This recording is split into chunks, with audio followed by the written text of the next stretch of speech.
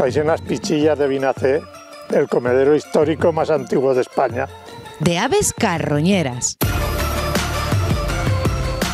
Traemos comida, carne del matadero de Monzón de corderos, unos restos cárnicos que antes se quemaban y ahora se traen aquí, se aprovechan para alimentar las aves carroñeras. Y esto lo hace el Fondo Amigos del Buitre, una labor que llevan a cabo desde hace muchos años. Como asociación 33 o 34 años y por mi cuenta 60 años.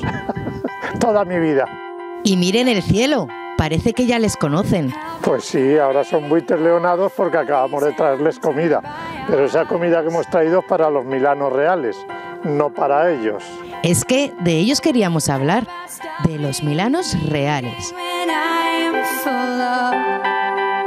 La mayor concentración de milanos reales de Europa se da aquí, pero no de ahora y por el comedero. Cuando era un niño ya los veía aquí que venían a comer a este muladar.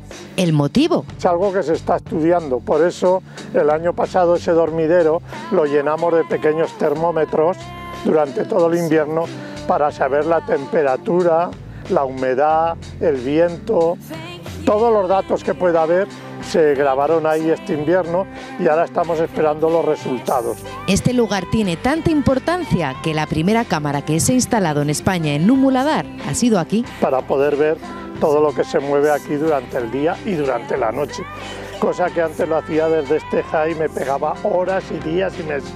Ahora con la cámara desde casa pues lo puedo ver. Pero no solo ellos. Esto lo puede ver todo el mundo, con poner comedero de vinace en YouTube pues ya te sale en directo. Y miren, miren, un ejemplo de ello.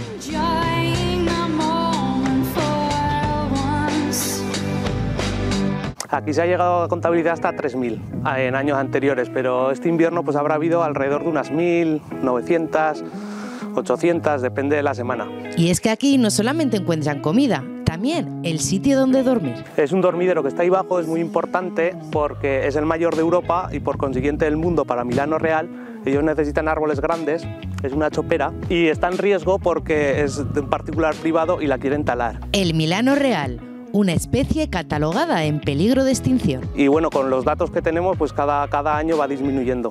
Unos afortunados en Aragón por poder ver a esta especie. Sí que es cierto que desde hace 50 años que se tienen registros, pues, pues esta zona les ha gustado mucho tanto a los milanos como a los buitres.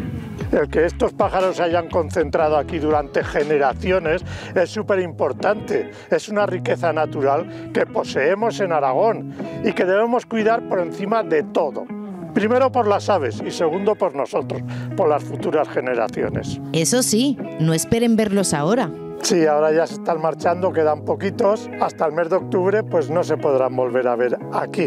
En Aragón hay parejas sedentarias, unas 250, pero aquí en Vinacé pues hasta el año que viene no, no volverán.